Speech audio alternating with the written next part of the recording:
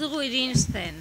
RGI murrizketarik ez, ekimenaren aldeko goze greba positiboa izan da. Orain gehiago gara indartsuagoak eta hobeto antolatuta gaude. Gaur Eusko, Eusko Legebiltzarrean aurrekontuen onarpenarekin demokrazioaren historioan eman den eskubide sozialen murrizketarik handiena eman da. DSBE eta EPON hain zuzen ere.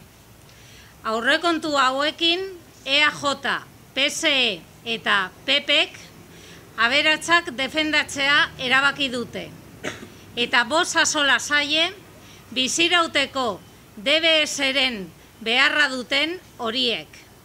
Gaur, legebiltzarrean, ostiko galanta eman diete EAen pobreziaren atarien diren pertsonei. Tras 19 días sin comer, hemos decidido dar por concluida esta radical forma de protesta y reivindicación para abrir una nueva etapa que permita crear un frente reivindicativo ante la próxima reforma de la ley de la RGI. Como he dicho hoy en el Parlamento Vasco, con la aprobación del presupuesto se ha llevado a cabo el mayor recorte de la historia. Ha sido con sus votos. Es decir, el PNV, el PSE y el PP son responsables que en lugar de que la gente que hoy percibe la renta garantía de ingresos cobre 726 euros, pasen a cobrar 626.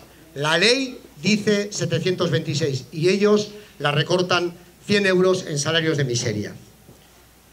El PNV, el PSE y el PP con estos presupuestos han optado, han optado por defender a las pudientes y a los pudientes, a los que van a usar el TAF, a los que quieren el TAF para ir a hacer negocios a Madrid, en vez de dar la cara y ayudar lo que la gente necesita, su derecho.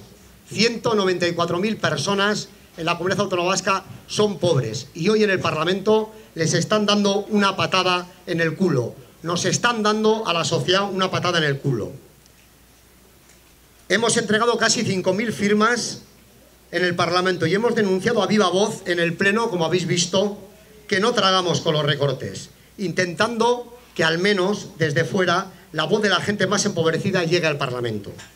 Pero hoy, con la aprobación de los presupuestos y la finalización de la huelga de hambre, solo acaba una etapa. En esta larga lucha por los derechos sociales contra los recortes que tiene su etapa reina la próxima reforma de ley que empieza en mayo, es nuestra verdadera etapa reina.